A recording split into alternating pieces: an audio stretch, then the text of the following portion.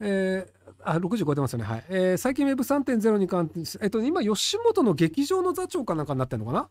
えー、最近 Web3.0 に関しての記事をよく見ます、えー、今後ネット上のサービスは非中央集権化していくのでしょうか？いいえ。YouTube や Twitter などがされる未来が想像できませんが、今後どうなるか、ひろきさんの見解をお聞きしたいです。えっと、あの、中央集権化しないでできるものもありますし、中央集権化しない方が便利なものもありますけど、基本的にはその Web サービスは中央集権化した方が便利だし、コストも安いです。